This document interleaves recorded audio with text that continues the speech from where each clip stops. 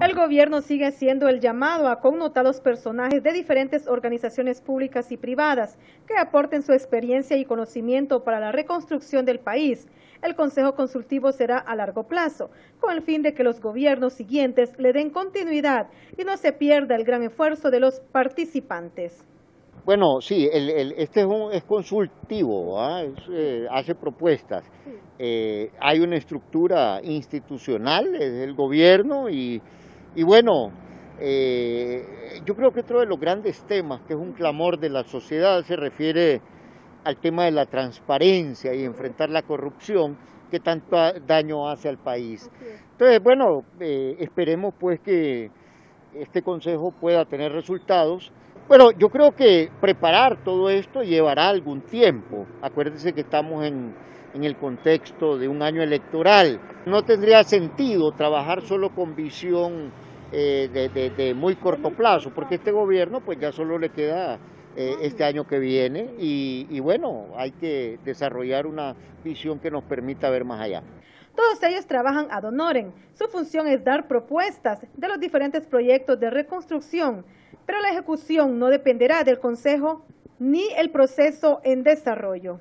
Se procure identificar aquellos aspectos estructurales que nos pueden eh, eh, hacer revitalizar eh, la economía, generar empleo, restablecer la infraestructura sanitaria y la infraestructura vial. Hay mucho problema de agua potable, por ejemplo, y que también permita fortalecer las instituciones en el mediano y largo plazo.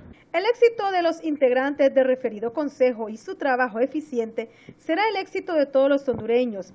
En estas personas está el poder convencer a la comunidad internacional y a los organismos multilaterales para que una vez más nos extienda la mano con los créditos entre tanta tragedia que se vive en el país puedan comprometerse con este proyecto de a corto, a mediano y a largo plazo, porque ya las elecciones son el próximo año.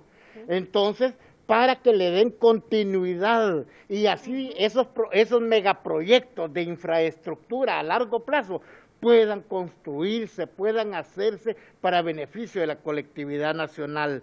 Nosotros tenemos que desarrollar el Valle de Sula, es el motor económico, el segundo pulmón económico de, de Honduras. Este empresario del criterio que es hora de despojarnos del egoísmo y en función del interés de Honduras trabajar todos unidos, por lo que es necesario la creación del Consejo Consultivo.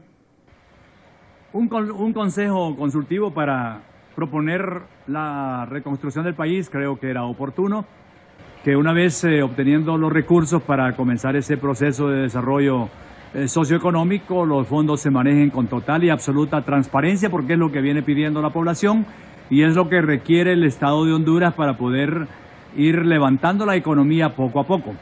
Más allá de objetivos e intereses políticos y particulares, lo que se busca con este grupo de notables es que se inicie la hoja de ruta del plan de reconstrucción de la nación. En cámara Ángel Sevilla, para Canal 6 informa Lili Valladares.